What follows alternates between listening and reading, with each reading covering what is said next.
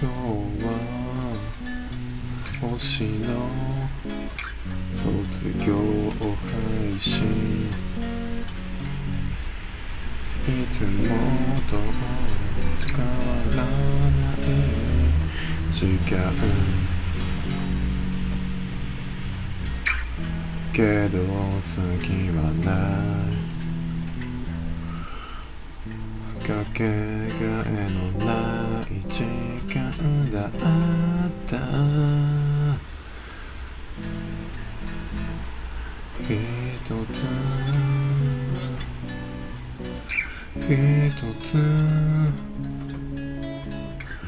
思い返し。一つも手放さないと。強く握った手のひらをほどく震えるその手で震えるコメント。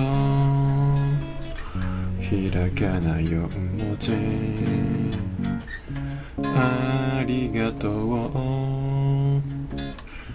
あまた。あ卒業するもしさよならと。言えなかった。